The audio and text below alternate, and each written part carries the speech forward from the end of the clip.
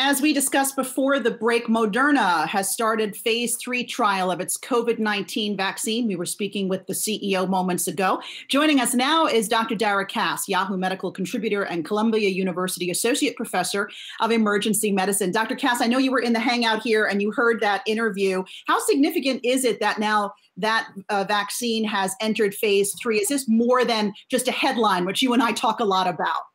It is actually more than a headline. It's very, very exciting. This is the time that we need to pay attention to the data and the results. Getting 30,000 patients, 15,000 in the treatment arm and 15,000 in the placebo arm is going to be very, very important to figure out the effects of preventing infection on patients in the real world.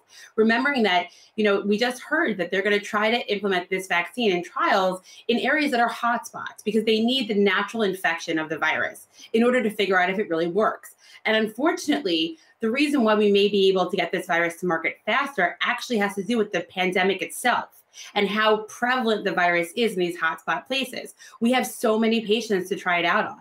So I think that as long as we are cautiously optimistic about this vaccine, we can be very excited that we're in phase three of a real world application.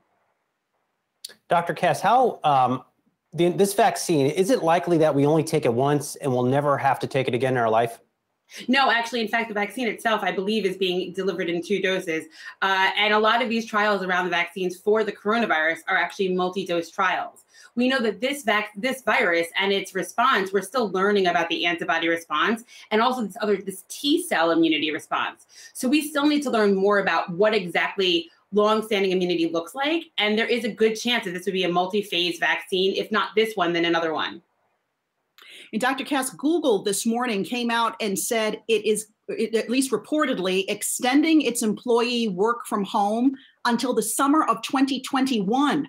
You know, what does Google know here that we don't know? And should more companies and schools and the such um, be holding on? You know, should we be working from home, do you think, for the next year possibly? So I'm definitely of the position that any company that can safely work from home, continuing to deliver its product to market, is really a very good idea because the less people commuting even just to work right, decreases the traffic on, let's say, the subways, the buses, and the highways to keep essential workers safe on travel. I think Google's on the cutting edge of what we'll see from a lot of companies over the next few months, really recommending that that employees who can work from home, it helps with childcare, it helps with flexibility, and it really helps keep our trans- transportation pipelines really as clear up as we can. What about schools? Do you think maybe uh, schools should remain closed given the, the news we're getting out of Google? So I think that schools themselves are going to have to make judgments on their local community. Any community with a virus that has a positive test rate of over 5% should really be looking critically at itself and deciding whether or not to open right now. I think what we're seeing is that companies and schools and other organizations that can stay home for now should if they're in an area where the viral prevalence is as high as 5% of positive test rate.